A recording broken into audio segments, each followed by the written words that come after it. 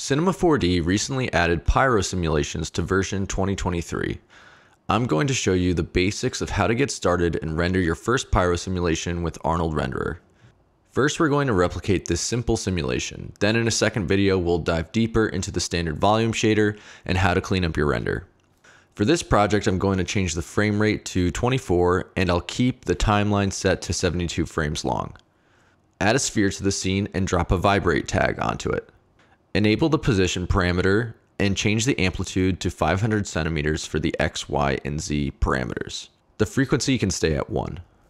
Now go to the tags menu and under simulation tags, add a pyro tag to the sphere. This will add a pyro default object to the object manager as well. Let's leave that alone for the time being. If you hit play, you should see the sphere moving around in space while the pyro generates.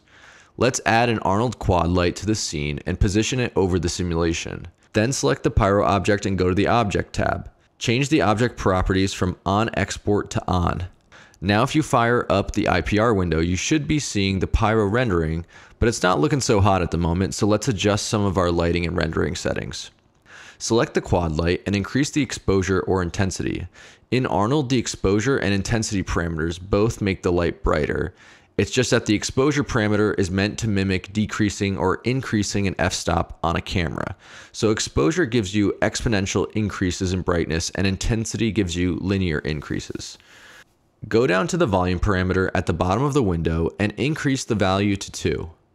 This increases the light's effect on the volume. Add an Arnold tag to the sphere and under the main tab, turn off all of the checkboxes. This will remove the sphere geometry from our render. I just want to be looking at the pyro for now. Open up the Arnold render settings and under ray depth, increase the volume parameter to 8. This parameter sets the number of multiple scattering bounces within a volume. This is useful when rendering volumes such as clouds for which multiple scattering has a large influence on their appearance. You should notice that the appearance of the pyro has improved a bit.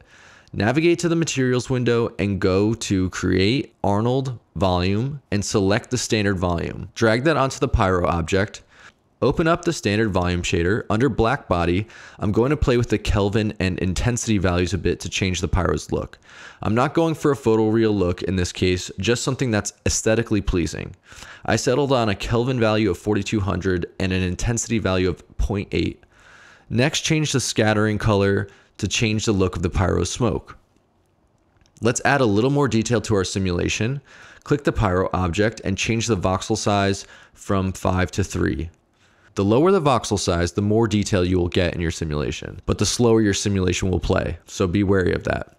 If you play back the sim, you'll see we're getting a little more detail now. Things are looking good, but you'll find that if you try to render this to the picture viewer as is, all that you're gonna get is a black frame. In order to fix this, we're going to have to cache our sim. Select the Pyro object and click the Cache tab. Hit the Cache button and create a folder for your .vdb sequence to save to. Then let the sim cache. Once it's done, hit the folder icon next to the file name parameter and select the first .vdb in the sequence you created.